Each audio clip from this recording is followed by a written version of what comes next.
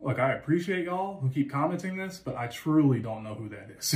the closest person I can think of to that is Danny Fenton, but it can't be him because he was just 14 when his parents built a very strange machine. I think it was designed to view the world unseen.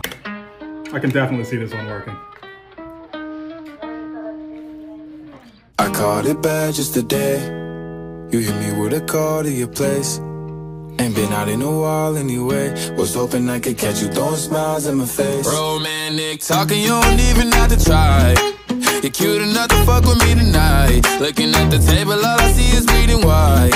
Baby, you living the life, but nigga, you ain't living right. Cocaine and drinking with your friends. you live in the dark, boy, I cannot pretend. I'm not faced, only you to sin. If you've in your garden, you know that you can. Call me when you want, call me when